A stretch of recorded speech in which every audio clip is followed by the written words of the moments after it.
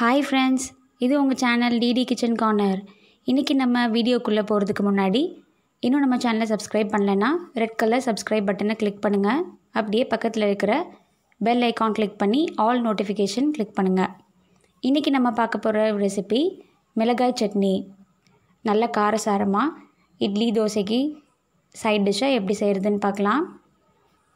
வரமிளகாய் இருபத்தஞ்சு எடுத்திருக்கேன். ஒரு பதினஞ்சு பல் பூண்டு சின்ன வெங்காயம் ஒரு பத்துலேருந்து பதினஞ்சு. கொஞ்சமாக புளி. முத நம்ம ஒரு கடாயில் கொஞ்சமாக எண்ணெய் ஊற்றிட்டு அதில் நம்ம எடுத்து வச்சுருக்கிற வரமிளகாவை நல்லா அந்த மாதிரி வறுத்துக்கலாம். நான் இன்றைக்கி சம்பா வத்தல் எடுத்திருக்கேன். நீங்கள் காஷ்மீரி வத்தல் எடுத்திருந்தா கூட அதுவும் இன்னும் நல்லாயிருக்கும் நல்லா வந்துட்டு ரெட்டிஷ் கலர் கொடுத்து டேஸ்ட்டும் நல்லாயிருக்கும்.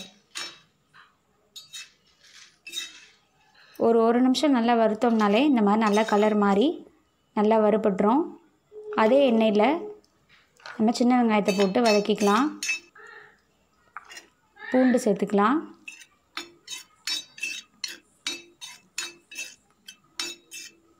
நம்ம எடுத்து வச்சுருக்கிற புளி எல்லாத்தையும் போட்டு நல்லா வதக்கிக்கோங்க. ஒரு டூ மினிட்ஸ் வதக்குனா போதும்.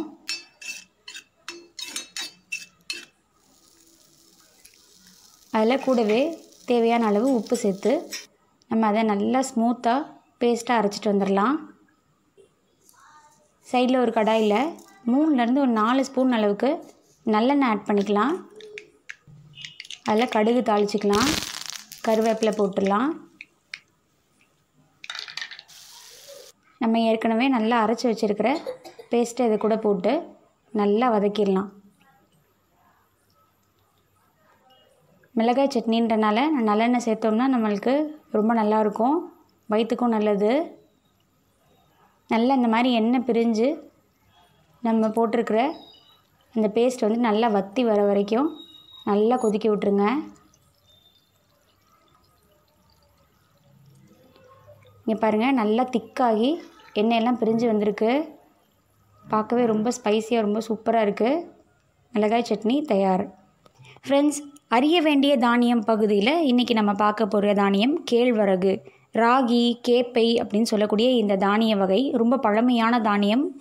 அது போக ரொம்பவே சத்துள்ள தானியமாக இருக்குது இதில் புரதச்சத்து அதிகமாக இருக்கிறதுனால நம்மளுக்கு ரெட் பிளட் செல்ஸ் கவுண்ட் வந்துட்டு கூடுறதுக்கு இது ரொம்பவே யூஸ்ஃபுல்லாக இருக்குது அது போக உடம்பில் நம்ம சாப்பிட்ட சாப்பாடெல்லாம் செரிக்கிறதுக்கான நார் சத்து இதில் அதிகமாக இருக்குது அது போக குழந்தைகளுக்கு இது ஏற்ற ஒரு ஊட்ட உணவாக இருக்குது. ஏன்னா கால்சியம் புரதம் நார்ச்சத்து எல்லாமே இது கலந்த ஒரு உணவு.